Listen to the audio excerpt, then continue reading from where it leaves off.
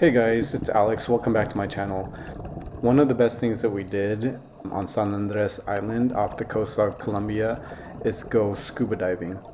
San Andres Island is actually where I got my open water certification.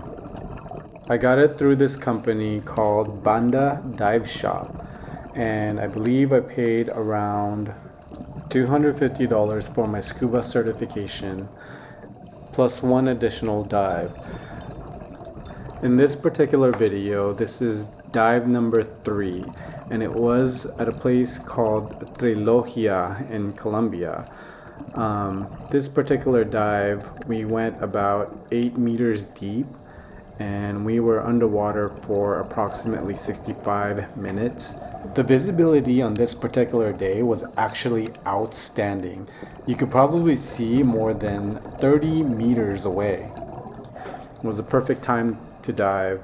This was actually a fun dive for me because I was mainly tagging along with Andy, who um, was getting his advanced um, scuba diving certification. And part of the um, training or techniques that you had to do with the advance was to identify um, sea life, sea creatures. And so he had to identify certain fish and plants um, under the sea. As I mentioned, the water was super crystal clear. I mean, the water was warm and there's a bunch of colorful fish all around and a bunch of other sea life that you could see. Uh, there's lobsters everywhere. The best time for diving in this area is pretty much all year round. There's no wetsuit necessary, but the diving company does provide a long sleeve um, shirt in case you need it, in case you get cold. Water temperature is normally around 29 degrees Celsius, which equates to about 84 degrees Fahrenheit. So that's pretty warm.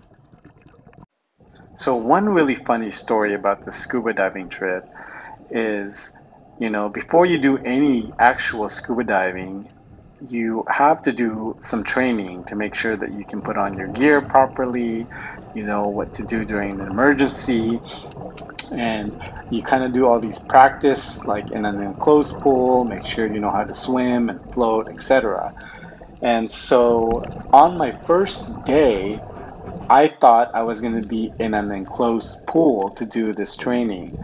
Turns out, when I get there, they actually take me to the sea, like the ocean. And that day couldn't have been worse for a training day because it was thundering and lightning. Like, I thought they were going to cancel my training. But nope, I got to keep going with my training and you know I had to like swim a hundred yards back and forth in the rain while it's thundering and these like huge waves were just splashing on me and I had to like float there for 10 minutes um, just facing up while my trainer was watching me the whole time. And I remember it being kind of cold. It was actually warmer to be in the water but whenever like you know you stood up or anything like that it was like super cold i just remember thinking to myself i'm probably gonna die i'm gonna get struck by lightning i'm gonna drown something's gonna happen to me here in colombia and and no one's gonna care because i'm in a different country and no one's gonna know. So i was kind of freaking out just a little bit. But obviously, even after all of that, and I was probably just being a little bit dramatic, it was very worth it to me. It was such a great experience. Being underwater, seeing all those sea life, sea creatures, feels like you're on a different planet. It's the best way I can describe it. So since then, I've done seven dives total. I actually want to go for my advanced scuba diving certification. I think that requires four additional dives with a trainer and you do a bunch more techniques and training underwater, which um, I'm very much looking forward to do to doing when I tr travel to other areas and do more diving. I hope you guys like this video and are encouraged uh, to do some diving yourself. I highly encourage it. It's really fun. It's great. And yeah, Hope you like it. Please like and subscribe, and can't wait to see you guys on the next one.